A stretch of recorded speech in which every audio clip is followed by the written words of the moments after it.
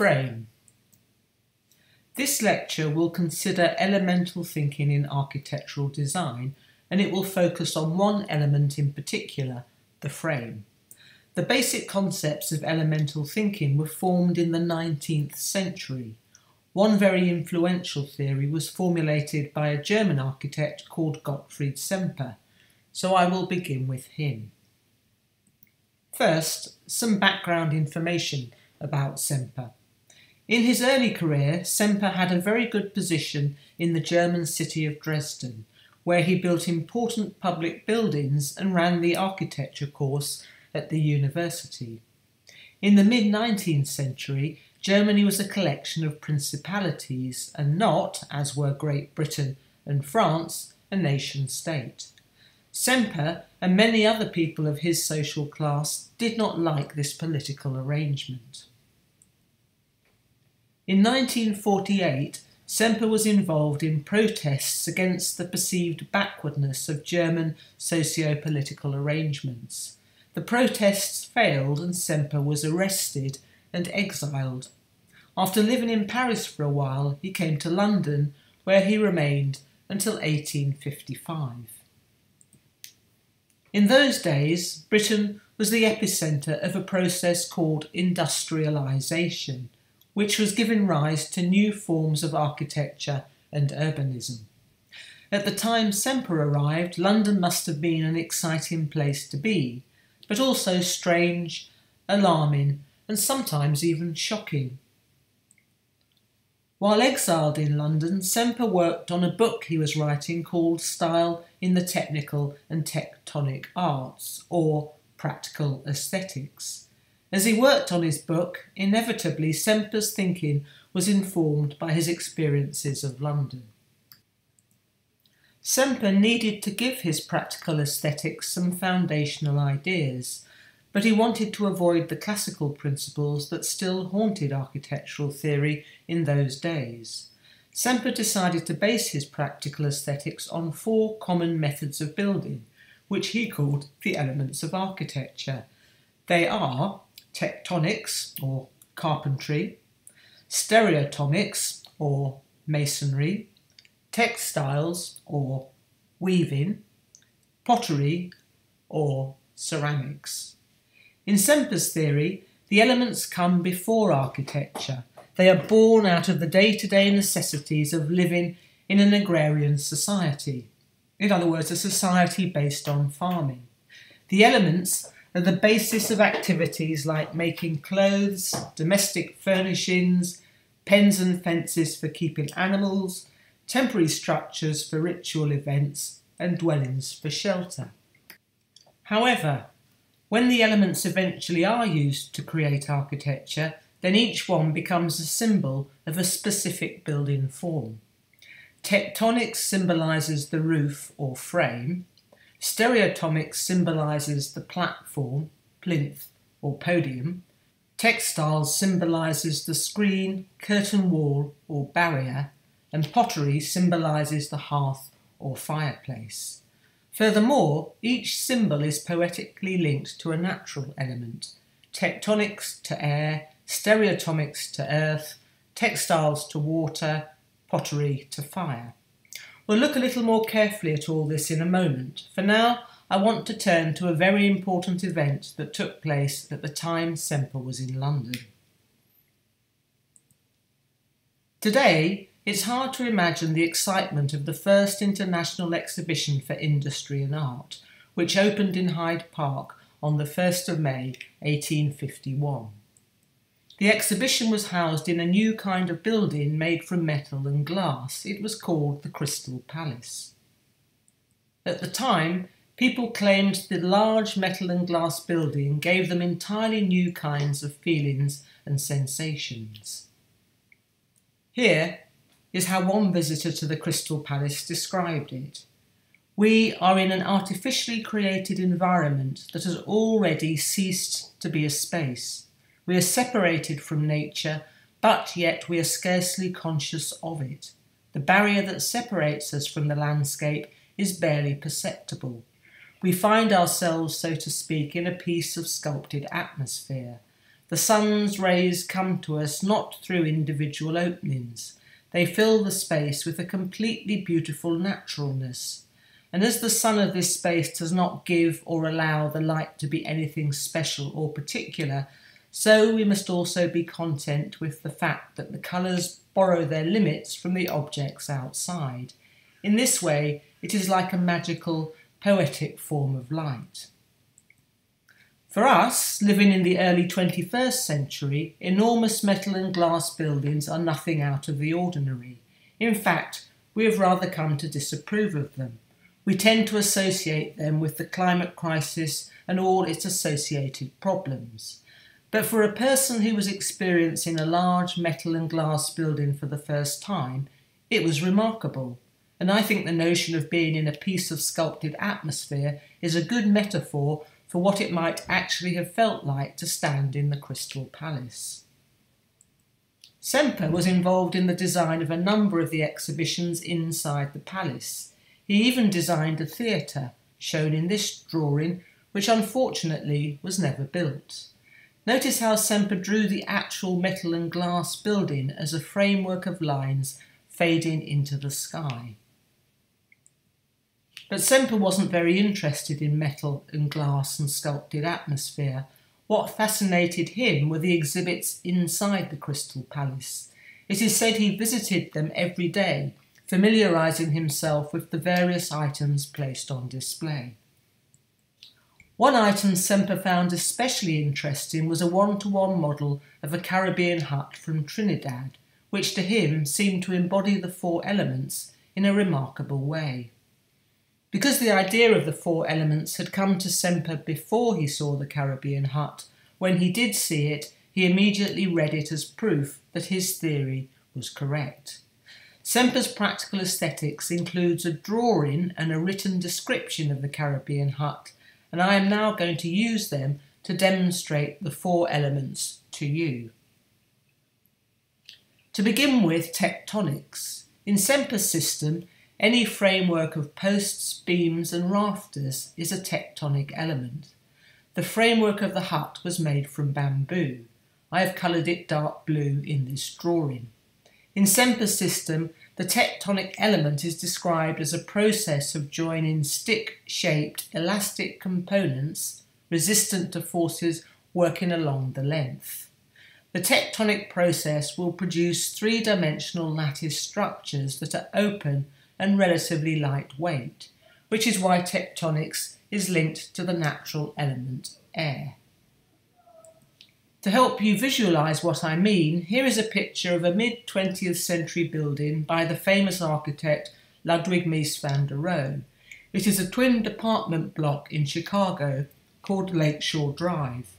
In this picture, the buildings are still under construction, and as you can see, each one is a lattice structure, relatively lightweight and open to the air. This is a picture of the buildings in their completed condition. You can't see the lattice now, but you can still see how it influences the appearance of the building. Now let's look at the stereotomic element. In Semper's system, any platform, plinth or podium is a stereotomic element. You can just make out in the drawing that the hut sits on a raised platform. I have coloured it green, and if you look closely you can even see the markings of a course of brickwork or maybe stone. Masonry involves working with strong, densely aggregated materials that resist crushing and compression. The most common material used in masonry is stone. The mason will work the material into regular, systematic pieces that can be piled up on top of one another. I'm using this archaeological drawing of an old Roman tomb to help you to visualise what I mean by masonry. Notice the way the structure is embedded in the ground and how the courses of stone or brickwork run as even bands horizontally from the top to the bottom of the structure. This is a house by the contemporary Spanish architects called Harquitectes. The house is conceived as a single masonry element, like a plinth or podium, with spaces hollowed out on the inside. In this view, we are looking toward the plinth house from the street outside.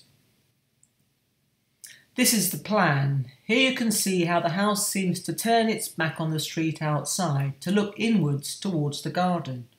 Also notice the way thick masonry walls divide up the spaces of the interior, so that these spaces feel like they have been made by subtracting from the solid figure of the plinth.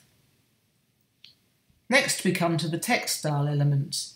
In Semper's system, any screen, barrier or curtain wall is a textile element. On the drawing of the hut, you can see two kinds of textile element fill in between the members of the frame. I have coloured them pale blue. On the roof, you see the textile element looks like it is made from tiles, while on the walls it is a wickerwork of some kind, perhaps made of rope or long grass. Textile elements keep out the rain and the sun, but perhaps more importantly, they separate the building into an inside and an outside, and they subdivide the interior into spaces with different functions and atmospheres. This image shows a view of a play factory by the architects SelgasCano, who are especially good at working with screens. I show it to you because the screen element is translucent and so you can just make out the ghost of the supporting framework behind. Here is another example by the same architects. Notice how inventive they are with their choice of shapes and materials so that each screen seems to have its own unique character. Finally we come to the pottery element. In Semper's system, any hearth or fireplace is a pottery element. On this drawing I have coloured the hearth orange. It is represented by a round figure on the plan diagram and a raised bump on the elevation. For Semper, the hearth was especially important because it served as a place for formalising social relationships. He wrote about it as the locus of exchange and communication. He wrote, Around the hearth, the first groups assembled. Around it, the first alliances formed. Around it, the first religious concepts were put into the customs of the cult. Throughout all phases of society, the hearth formed that sacred focus around which the whole took order and shape. There are many examples of architects who have picked up on the idea of the hearth as the heart of the building. This is especially so in the design of houses. This image shows the fireplace in the Manson house by Frank Lloyd Wright. Notice how the space of the house seems to revolve around the hearth. Here is the Farnsworth house by Mies van der Rohe. The large yellow structure is the hearth of the house, or the core as Mies sometimes called it. It includes a fireplace, but it also includes other services such as a kitchen, bathrooms, utility room. Notice how the main living space of the house revolves around the core. Here is another example from Frank Lloyd Wright. It is called the Johnson House. Here the fireplace sits at the centre of a double height living space. It is embedded in a hollow brickwork column that acts as a chimney and as a vertical circulation core. In this house by OMA Rem Koolhaas, the hearth has been entirely taken over by the circulation function. This house was designed for a man confined to a wheelchair. Here, the focus of the house is a moving platform that rises vertically through all three levels of the house. Notice the shelf behind stacked with books and other artefacts the man might like to use. Now that I have introduced the four elements, I'm going to concentrate on showing you some buildings that place a special emphasis on the frame. This does not mean the other elements are not present in the examples I'm showing you, it just means they are not so obvious. I will stick to the theme of the house to begin with. This is the stone house by the architects Herzog and de Meuron, perhaps better known to you as the architects of Tate Modern. Stonehouse is in a place called Tavole in the Italian Alps. It was designed and built between 1982 and 1988. The form and structure of the house is based on a concrete frame. You can see the frame in this oblique view. In this rear view of the house, you can see more clearly how the frame is able to break away from the main body of the house to form an outside pergola, which, as you can see, rests on a plinth amidst the surrounding meadow. The dry stone walling that fills in between the framework is made from a local stone rubble. In this side view, you can see how openings are set into the dry stonework to make windows and doors. Notice at the top, the dry stone walling stops and a strip of glass panels is set into the frame. Turning now to the plan and sections of the house, notice how the interior space is divided by a Latin cross-shaped figure to make four rooms, with two smaller rooms at the back and two larger ones at the front. The cross stops short of the perimeter walls, and the doors between the rooms are pushed to the gap between the cross and the perimeter walling. The frame is represented in these drawings too. It is easiest to identify on the plan, but you can recognise it on the long section because the section cuts through the pergola where the frame is freestanding. It is more difficult to spot on the short section. Notice first that the cross-shaped figure of the internal walls is drawn in the same way as the members of the frame, and notice secondly the way the cross aligns with the frame. That probably tells us the internal walls are made from concrete. The external walls, on the other hand, are drawn as a double skin, with dry stone rubble on the outside and a layer of concrete blocks on the inside. Here is a drawing showing several details of the construction. Notice at the corner, detail 3.2, the frame is set behind the dry stone rubble, whereas further along, detail 3.1, it is made to bridge from the outside to the inside, passing through the zone of the dry stone rubble on the outside and into the zone of insulation and blockwork on the inside. The drawing also shows how a window can be set within the layered construction of the wall. Here is a close-up view that shows what it looks like to see each of those details.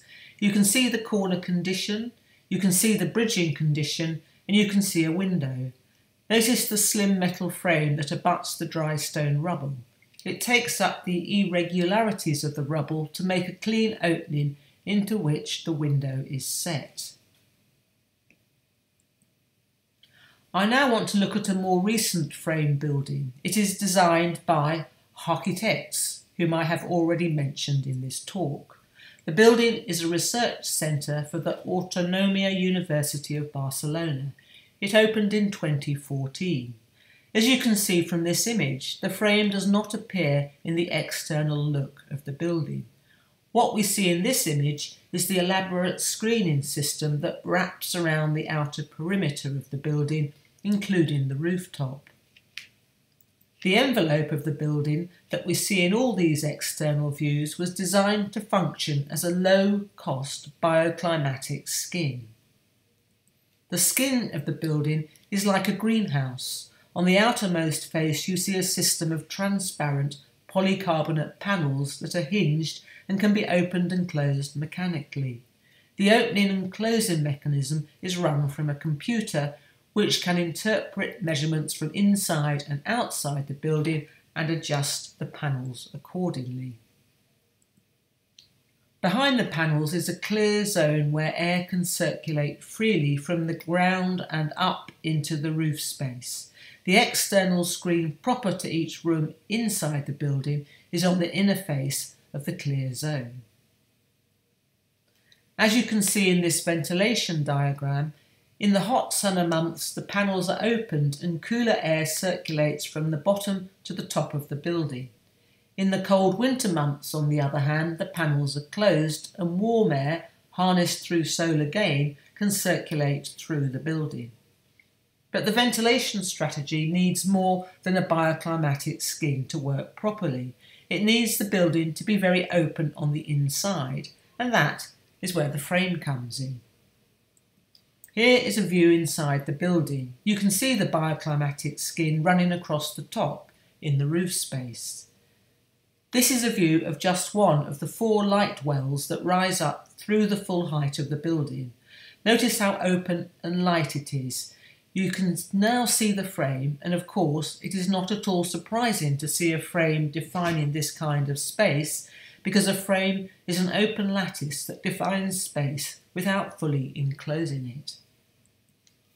Notice how the screens that separate out individual rooms are set back from the frame. They read as discrete boxes in space, each with its own doors and windows.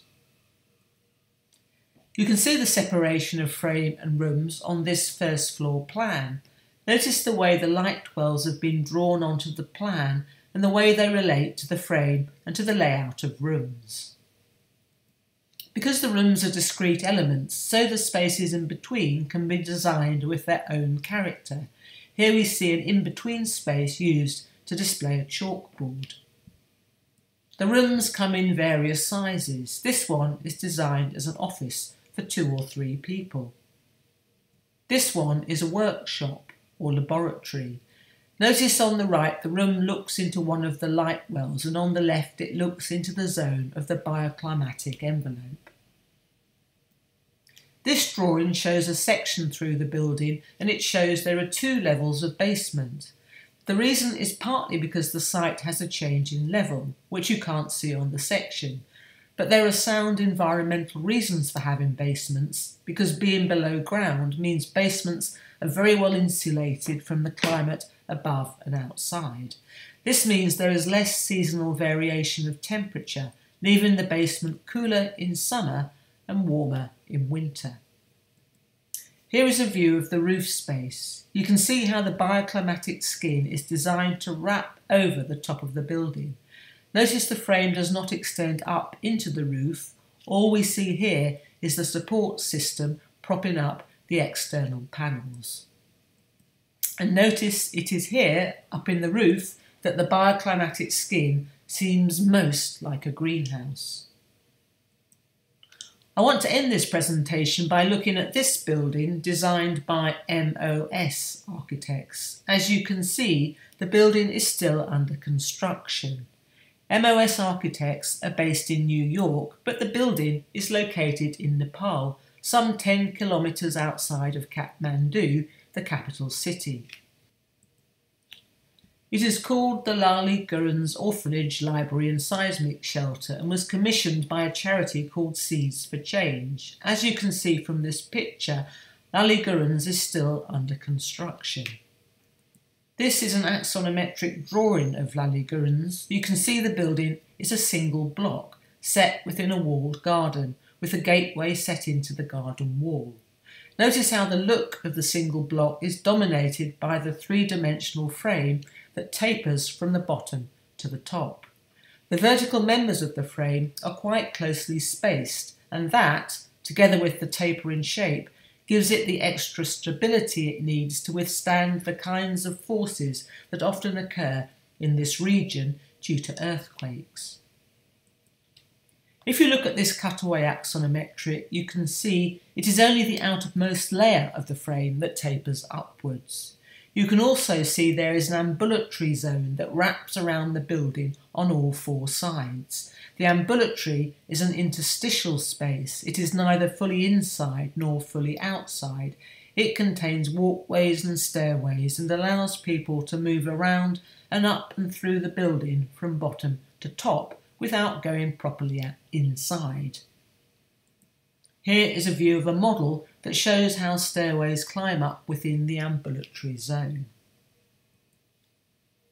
In this constructed view, showing children playing in the garden, you can see how easy it is to move from the garden into the ambulatory zone.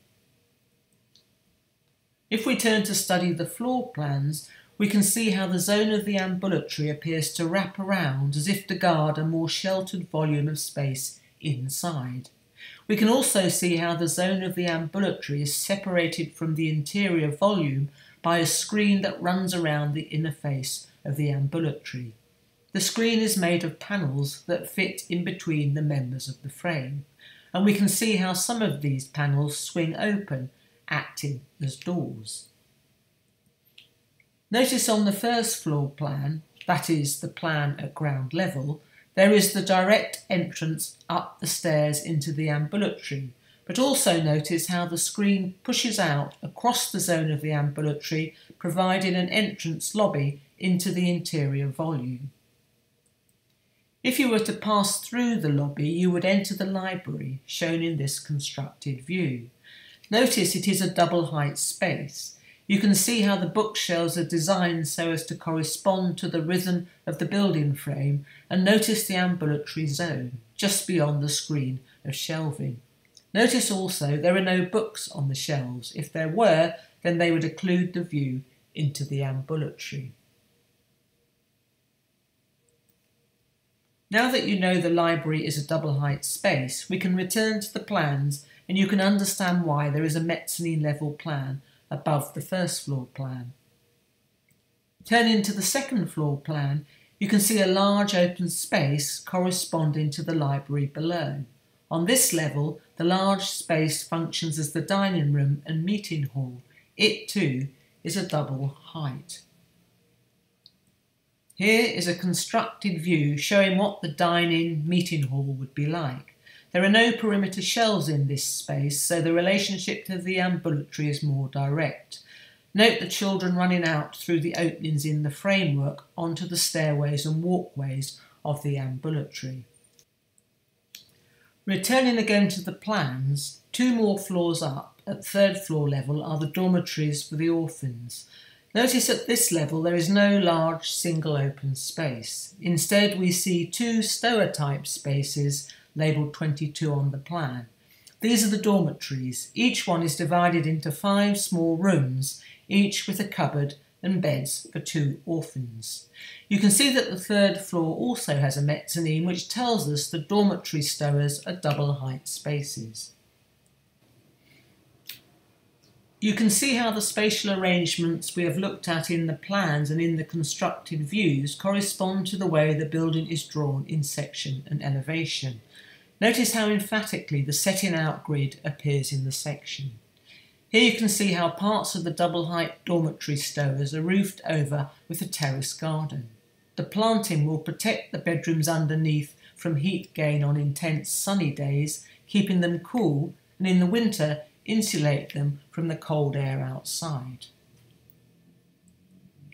Here is a constructed view of one of those roof gardens. You can see from this view that the frame is not entirely open at this level.